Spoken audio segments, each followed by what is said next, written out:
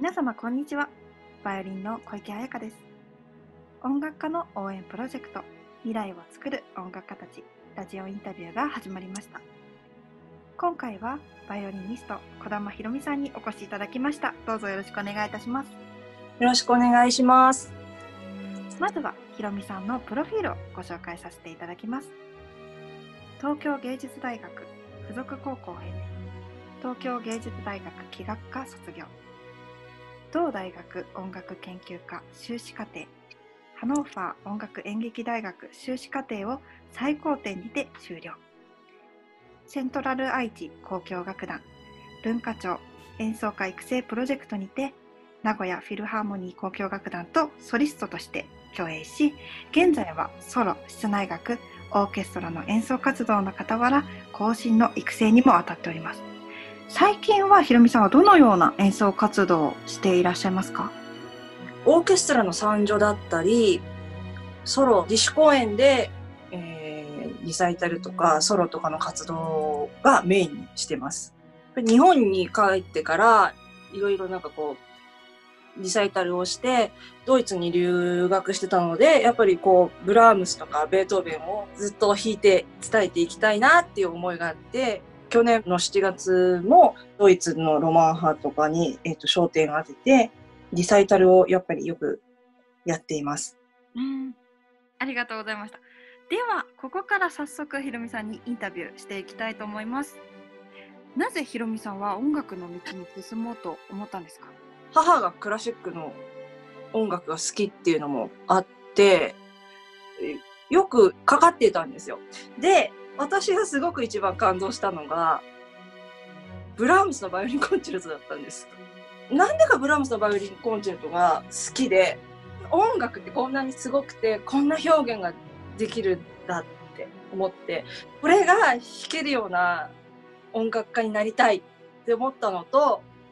もう一つあって、あの、私始めるのがそんな2歳、3歳じゃなかったんですよ。始めた時は、だから5歳ぐらいだっただったかな。で、5歳になってくると、自分でこう取捨選択って何がやりたい、何がやりたくないとか、これは違う、これはいいっていうのがだんだん分かってくる年じゃないですか。でもやっぱり親としては、こう、子供にいろいろお稽古ごとをやらせてみたい。で、実際やらせてもらったんです。だから、バレエもやったし、水泳もやったし、バイオリンもやってる、ピアノもやった、英会話もやった、なんか、その、お勉強の塾も行かせてもらったんですよ。私は、バレエも水泳もやらせてもらってたけれども、お家ではやらなかった。で、英会話もちょっと復習するぐらいだったし、お勉強も、まあ、塾に行って、お家でちょっと復習するぐらいだった。だけども、バイオリンは欠かさず毎日、ある程度時間をとって、その5歳から始めてたんですよ。だから絶対、バイオリンだけは、将来プロにはなれるだろうって思ってたっていう話なんですけど、私絶対なれるって思って生きてきてました。その大好きな音楽を苦しいなとかやめたいなって思ったことってありますか？苦しいは思ったことはやっぱりあって、やめたいと思ったことはないです。で、苦しいっていうのは多分、音楽家にとって宿命じゃないかな。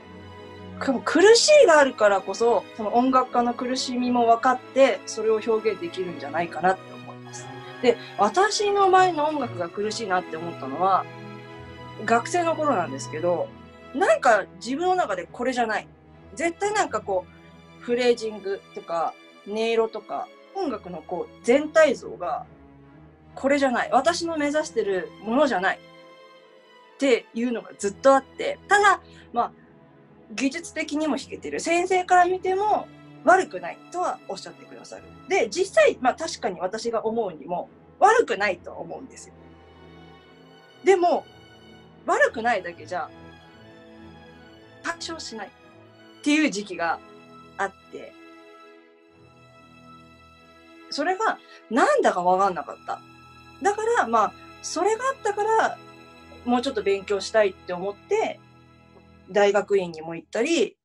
ドイツに留学しようと思ったきっかけにもなったんですけど、こうじゃないって思ってた時期は苦しかったです。今まあ、こういう新型コロナウイルスっていうウイルスが流行しているんですけどもその中でコロナによる仕事の影響っていうのはどのくらい出ましたか？3月からの演奏会が、えー、全て延期もしくは中止に全部なりました。まあ、もちろん来ていただけるお客様ありきのお仕事ではあると思うので、そのお客様がもし感染してしまったって安全面を考えると、やっぱ中止にせざるを得ない、延期にせざるを得ないっていうのはもちろんあると思うんですけども、うん、やっぱりちょっと残念っていうか悲しい思いでいっぱいですよね。で、いつから再開できるのも、わからないっていうのもちょっと苦しいところですよね。うんそうですよね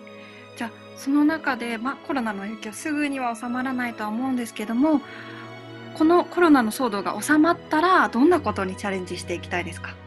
コロナの始まる前からリサイタルを続けてはいたので自習でもいいから続けていきたいなって思っているのとあと室内楽をそれこそ実はコロナの前に企画しようと新たに思っていたので、まあ、演奏活動の幅をもっと広げていきたいなって思っています。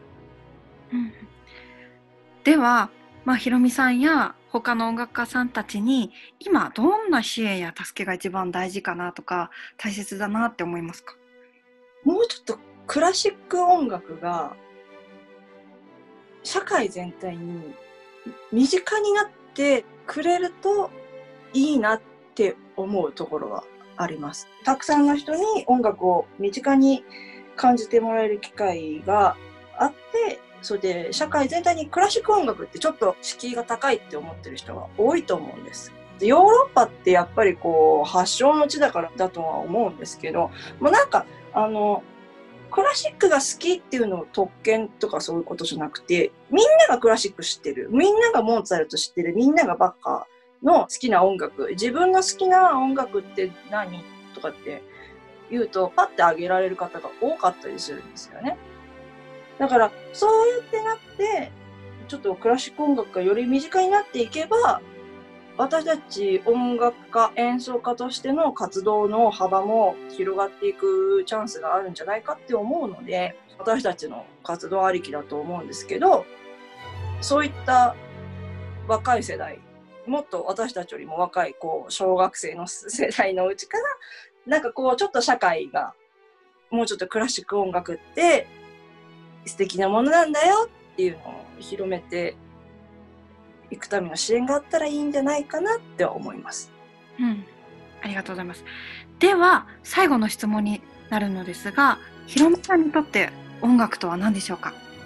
音楽って、まあ、自分軸って考えると私の人生だとそのものだと思います。ちっちゃいうちは音楽じゃない道も選べたのかもしれないけども、でも音楽を選ばなかったら私はこういう人生を送っていないわけだし、今こうやってインタビューしてくださっている彩香ちゃんにも会えないね。って考えると、巡り合えたご縁があるっていうこともすごくありがたいと思うし、音楽をしてなかったら、こういう人生じゃないんだろうなって思うと、私にとって音楽は人生そのものだと思います。ありがとうございました。はい、ありがとうございます。はい、では今回はバイオリニストの児玉ひろみさんにお越しいただきました。どうもありがとうございました。ありがとうございました。